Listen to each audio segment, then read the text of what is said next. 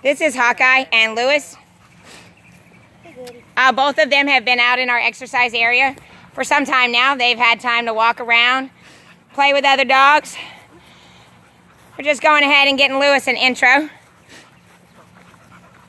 Yeah, we can go ahead. Let's let um, Hawkeye off. Yeah, let him go.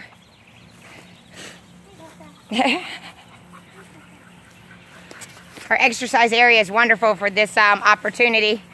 Everybody can walk around. Debbie, are you comfortable? Yeah. All right, let him go. When you're ready, yep. Look at that. This is Louis and Hawkeye.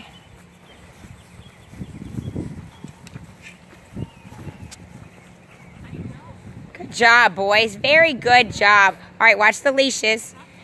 We're learning about the leashes. We keep them on leashes even though they're taking they're off leash. We want to be safe. Want to be able to get them in the event of a problem.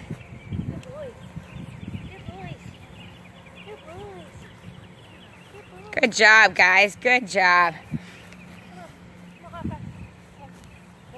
Hawkeye's like, man, I'm tired. The wonderful thing about our exercise areas, after they've spent some time out here, they'll go back and they'll at least have the opportunity to rest peacefully. This gets all their energy out. Oh, this is great.